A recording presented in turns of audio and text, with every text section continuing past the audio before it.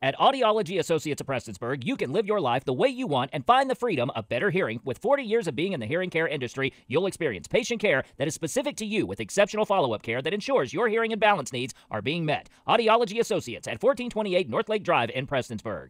The Mountain Homeplace in Johnson County will be holding their classic Christmas themed Christmas festival on Saturday, December 23rd. So, this weekend, the Mountain Homeplace Christmas Festival, our theme is Classic Christmas.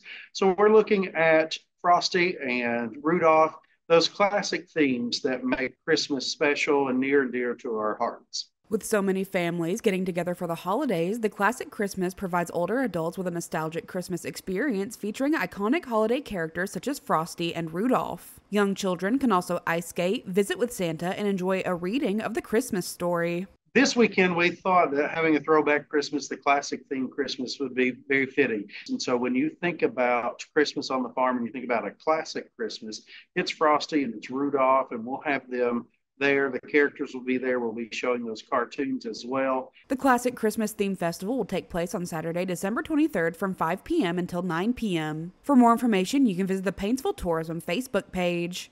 For Mountaintop News, I'm Kelsey Fidel.